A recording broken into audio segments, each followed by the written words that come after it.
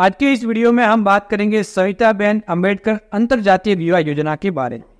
में इस योजना के तहत पहले जो पाँच लाख रुपए मिल रहे थे, उसे बढ़ा के राज्य सरकार ने अब दस लाख रुपए कर दिया है। इस योजना का बेनिफिट उन्हें दिया जाता है, जो कि इंटरकास्ट मैरिज करते हैं। इस योजना का बेनिफिट तभी मिलेगा जब लड़का व लड़की दोनों में से किसी एक का एस वर्ग से होना ज़रूरी है। साथ ही साथ इस योजना में जो 10 लाख रुपए दिए जा रहे हैं उसमें से 5 लाख की एक एफडी दी जाती है, जो कि आठ वर्ष तक के लिए होती है। दूसरे पाँच लाख रुपए यहाँ पे बैंक खाते में डिपॉजिट किए जाते हैं, जिसका इस्तेमाल दूल्हा व दुल्हन कहीं पर भी कर सकते हैं। साथ ही साथ इस योजना का बेनिफिट लेने के लिए दूल्हा व दुल्हन का बालिंग होना ज़रूरी है। साथ ही साथ जाति प्रमाण पत्र का भी होना ज़रूरी है। फिर उनको विवाह प्रमाण पत्र बनाना भी ज़रूरी है और आयु से संबंधित कोई भी एक प्रमाण पत्र उनके पास होना ज़रूरी है। ये सभी डॉक्यूमेंट अगर किसी के पास अवेलेबल है तो उसके बाद जन आधार कार्ड बनाने के बाद इस योजना में आवेदन किया जा सकता है।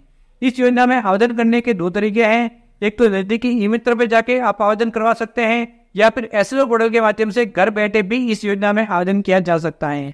तो आप समझ चुके होंगे कि राज्य सरकार की सविता बहन अंबेडकर अंतर जातीय विवाह योजना क्या है, इसके अंदर कितना बेनिफिट मिलता है, किसे बेनिफिट मिलता है, और क्या योग्यता सरकार ने निर्धारित की है और कहाँ से आवेदन करना है।